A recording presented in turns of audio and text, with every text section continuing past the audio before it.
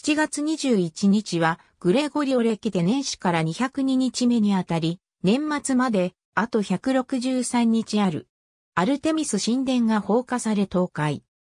名を残すという動機による放火で、ヘロストラトスの名誉という言葉が生まれたイタリア戦争、フランス軍がイングランドのワイト島に侵攻エジプトシリア戦役、ピラミッドの戦い。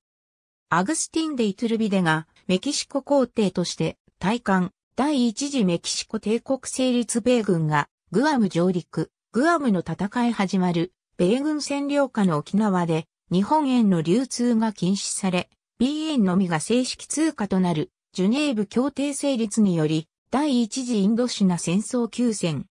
右画像は1964年最後の国恥記念日の様子アスワンハイダム完成スペースシャトルの最後の任務を終了ルネサンス教皇の典型、ローマ教皇シクストゥス4世誕生。